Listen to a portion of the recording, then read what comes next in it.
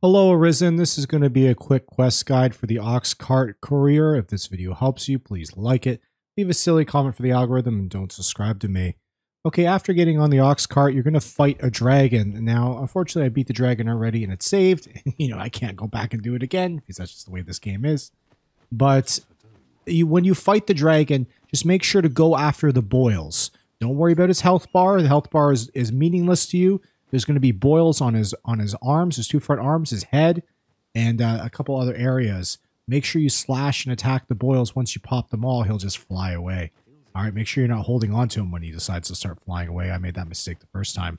All right, now he's telling you to find Leonard, um, and they're giving you this big wide berth. But this is Leonard, I'm pretty sure, right here. Okay, so I'm going to show you where I am on the map. That's where I am on the map. And let's see what time it is. It's noon. Sun is up here, so it's noon. Okay, so let's just go talk to him and see what's up. What can I do for you? All right, let's give him the letter. Deliver. Ah, she's a kindly sort, I must say. Yeah. We met when I worked with her.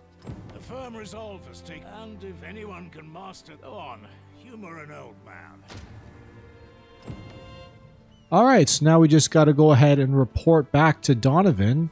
Is that back at the, um, yeah, it's back uh, at the capital. All right, let's go back. All right, so after you report uh, that you've delivered the message, that will complete the quest. If this video helped you, please like it, leave a silly comment for the algorithm, and don't subscribe to me.